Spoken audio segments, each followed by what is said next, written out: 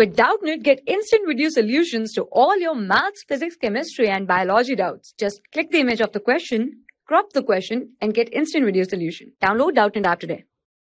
Hello everyone. So the question is consider a cylindrical tube closed at one end and fitted with a conducting movable piston at the other end. Conducting and movable piston at the other end and one end is closed closed at one end and other end is it is having the conducting and movable piston at the other end. A cathode is fixed cathode is fixed in the tube near the closed end and an anode is fixed with the piston a gas is filled in the tube at the pressure of P using Paschen equation. Paschen equation is given as V equals to function of P and D. Volume, V is the volume, P is pressure and D is the distance of that tube. So according to Paschen equation, volume is the function of pressure and distance. Show that the sparking potential does not change as the piston is slowly moved in or out. Assume that the temperature does not change in the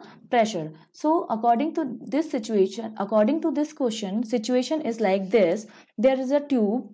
Suppose i am having the tube. This is the tube. One end of this tube is closed. Suppose this end is closed. And at this end there is a movable piston. This is movable piston. Now the distance of this tube is d. And this tube is filled with gas and this gas is having the volume V and pressure P. Now at the closed end it is a cathode. At this end this is cathode and this end it is anode. This is anode. And this is cathode. Cathode at closed end and, and anode at the movable piston. This is movable piston. Now they are saying that, that this piston is moving in or out very slow. When it is this piston is moved out slow that means temperature is remain constant. And when temperature is remain constant or there is no change in temperature that simply means that the process is isothermal process. And when process is isothermal then from Boyle's law I can say from Boyle's law I can state that PV equals to constant according to according to Boyle's law, the product of pressure and volume is constant when temperature is constant. At that time PV equals to also constant.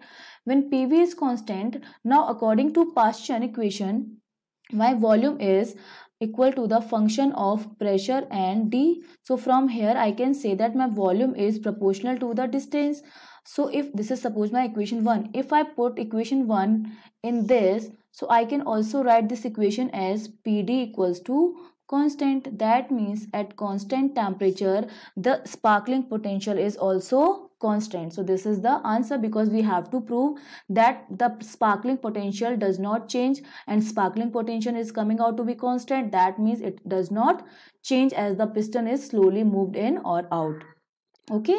Thank you. For class 6 to 12, IIT JEE and NEET level. Trusted by more than 5 crore students. Download Doubtnut App today.